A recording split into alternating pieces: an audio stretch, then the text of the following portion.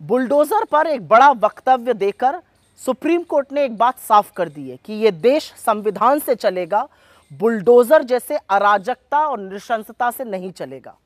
Supreme court का आज का बयान, ये फैसला कि जब तक गाइडलाइन ना बन जाए, अब कोई बुलडोजर नहीं चलेगा, उन सब नफरती मुख्यमंत्रियों और नेताओं के मुँह पर करारा तमाचा है जो न्यायपालिकाओं पर ताला लगवाकर बुलडोजर जस्टिस को बढ़ावा दे रहे थे। सुप्रीम कोर्ट ने तो यहाँ तक कहा है कि बुलडोजर का महिमा मंडन मत करिए और महिमा मंडन करना भी नहीं चाहिए, क्योंकि बुलडोजर का मतलब है कि आपका पुलिस, आपका प्रशासन सब कुछ फेल हो चुका है।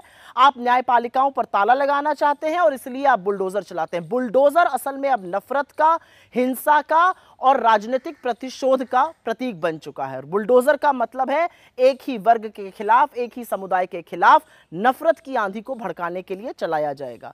यह अच्छा फैसला है। इस फैसले का हम स्वागत करते हैं और आशा करती हूँ कि इस फैसले के बाद उत्तर प्रदेश के मुख्यमंत्री अपना जिगर और कलेजा बुलडोजर चलाने के लिए नहीं दिखाने लगेंगे। उच्चतम न्यायालय को चैलेंज नहीं करेंगे और उनकी जो तमाम कॉपीज हैं मध्य प्रदेश से लेकर छत्तीसगढ़ और अन्य जगहों पर महाराष्ट्र तक में वहाँ पर बुलडोजर जस्टिस पर पूरी तरह से प्रतिबंध लग जाएगा। बुलडोजर का सभ्य समाज में कोई जगह नहीं है। बुलडोजर चलाने का काम अराजक तत्व और गुंडे मवाली करते हैं। चुने हुए मुख्यमंत्री, चुने हुए प्रतिनिधियों को इन चीज़ों से दूर रहना चाहिए। और यही बात इस देश का उच्चतम न्यायालय कह रहा है।